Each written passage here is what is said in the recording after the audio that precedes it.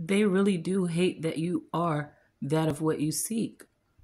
You are the embodiment of what God has made you to be. Exactly how you made you. Nothing changed you from that. Not the rumors, not the exile land of self growth that they thought you'd die in either. Nothing changed you from who God made you to be. Your destiny and purpose remains intact. Yes, your dignity and your honor remains intact.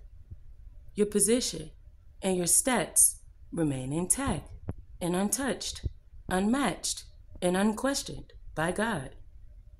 They think their pain counts just because they have one. But it never amount to anything, so what are we really actually counting? We don't count it over here. We don't count on them, and we don't count their failures either. We count our wins, our blessings, and our many ways of finding joy here as wins. We count what we make as wins. We count what we create as wins. That's what we count. We count our countless victories, celebrations that we have had in private, and we honor that crown of that victory that God has placed on our heads. Thank you to my higher self for my most enlightened self. You understand that?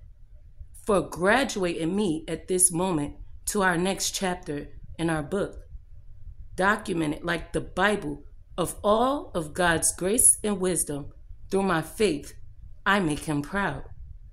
It's not my physical accomplishments that makes him proud. It is what I do in faith, how I keep faith in him, and how I see faith grow through our relationship and journey. I recognize we are in this together, God and I.